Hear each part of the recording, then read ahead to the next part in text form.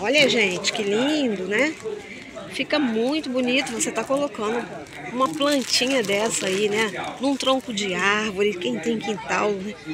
Quem tem quintal, quem tem árvore no quintal, pode estar tá fazendo isso daí, tá, gente? Mas eu também tenho vídeo aí mostrando quando você não tem uma árvore no quintal, o que, que você pode estar tá fazendo. Você pode estar tá colocando no coco seco, tá, gente? Tem vídeo aí no canal. É só você ir na minha playlist cultivo de suculentas, cultivo de orquídea. Você vai achar aí as dicas que eu dou no canal de como você faz com essas plantas epífitas para colocar no coco seco, tá, gente? Fica muito bom. Orquídea no coco seco.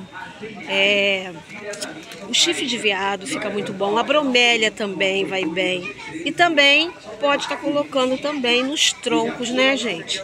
Que também tem vídeo no canal aí, tá bom?